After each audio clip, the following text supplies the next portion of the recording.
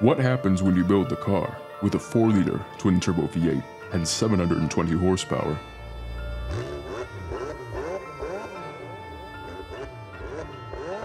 What happens when you build a car with a carbon fiber monocage that weighs just over 3,000 pounds? What happens when you build a car that was made to set benchmarks and destroy lap times?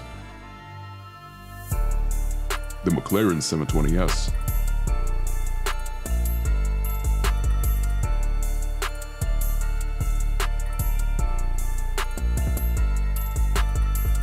What is it, and what makes it the perfect supercar? I'll tell you. It's a track weapon disguised for the streets. It's a UFO, a monster from the McLaren MSO laboratory. It's something that was formed in a wind tunnel, yet everything on this car has purpose.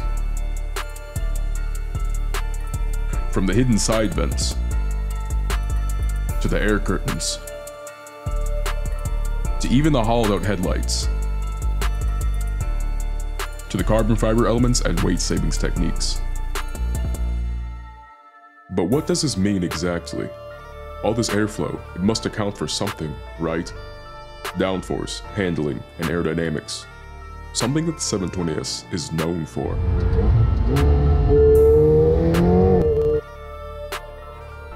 But what about performance?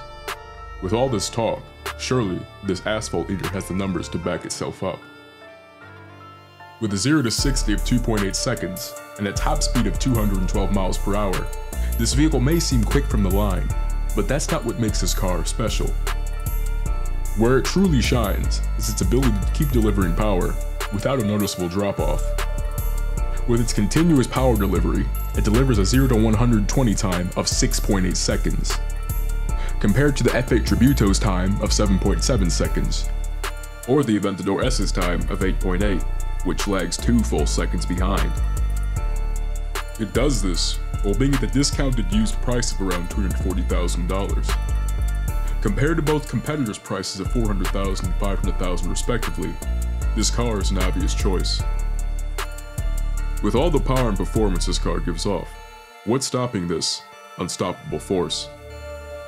Six piston brakes with 15.5 inch rotors in front, combined with four piston brakes and 15 inch rotors in the rear. But that's not everything. There's an air brake to help you slow down, should you need it, and you will.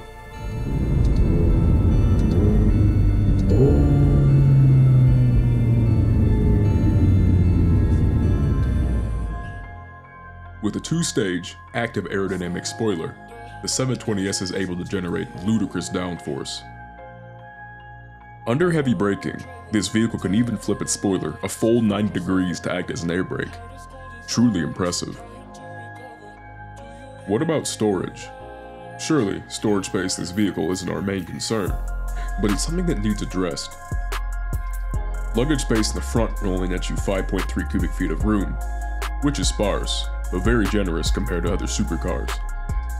However, McLaren has gone the extra mile to consider the practical side of ownership Positioned behind the occupant's head, you'll discover a parcel shelf secured by a leather luggage strap.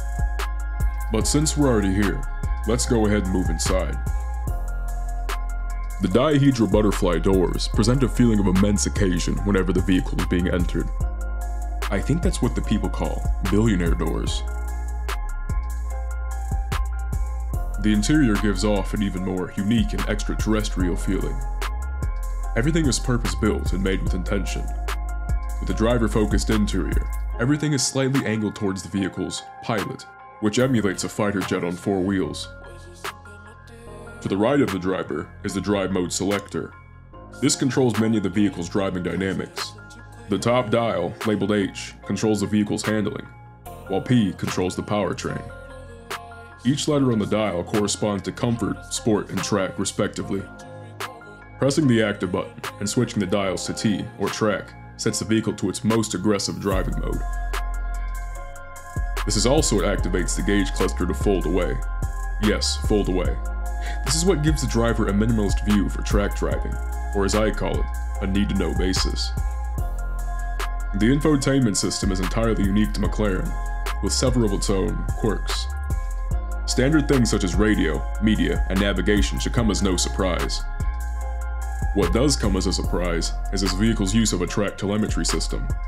This system can let you select various racetracks around the world, as well as account for factors such as weather and your lap times. Another gift from McLaren comes in the form of variable drift control, which lets the driver select the vehicle's slip angle for when the rear end kicks out. And believe me, it will.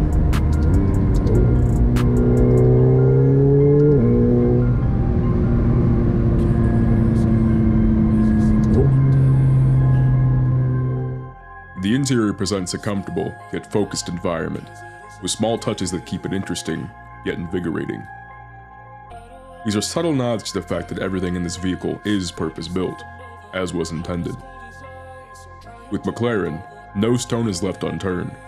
Form follows function, it seems.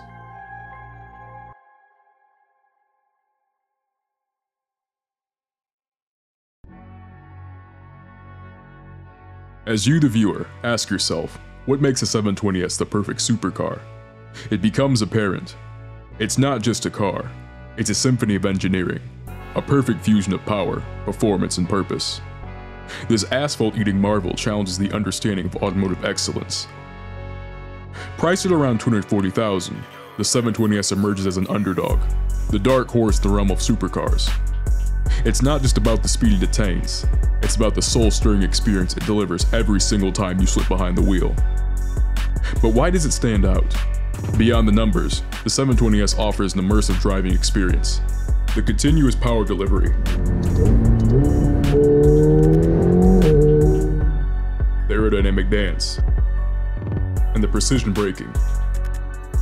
It's not just a machine, it's a driving companion.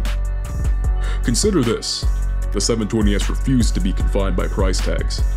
Priced significantly lower than its competitors at 240,000, it's a beacon of value in the world of ultra-high performance. McLaren has crafted an automotive masterpiece that doesn't just cater to the elite, but beckons enthusiasts with a passion for driving excellence. In the grand scheme of things, the McLaren 720S is not just a vehicle, it's a statement, with its bright orange paint and butterfly doors.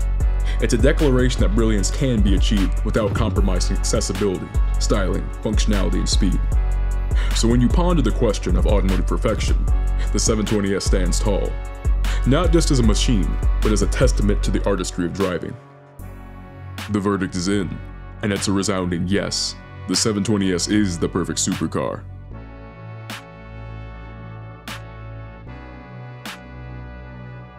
If you enjoyed this video, or you'd like to see more like it, don't forget to subscribe and hit the bell notification for reminders.